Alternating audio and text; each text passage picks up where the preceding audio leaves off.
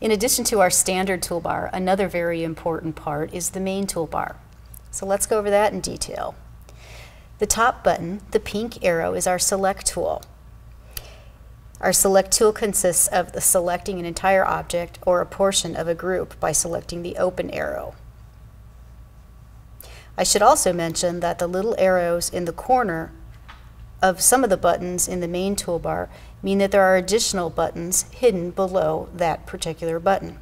Simply clicking on the button and holding it down will show that particular option for that tool.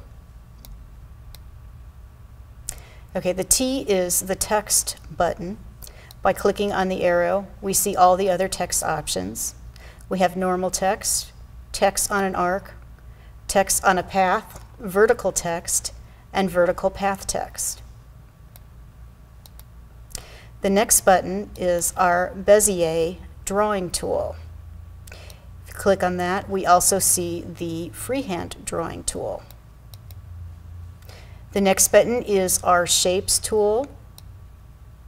We have our rectangular or square shape, the ellipse or circle shape, the pentagon, star, the arc tool, and the arrow tool. The next button we have is the Select Points tool. Um, when you're working on a path, you can use that to edit the specific vector points. The next one is our Auto Trace button. Clicking on that button gives us all our auto trace functions. The next button is our welding tool. When you click on that, the welding option is available and the cutout option is also available there.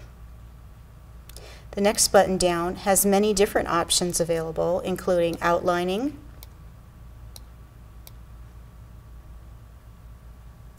creating cut lines around an object, the distortion tool, the shadow tool, the removing effects tool, and the unlinks effect. The next button down is the ruler button. The ruler button allows you to see the size of our particular object by dragging a, the ruler over it. And that is the main toolbar.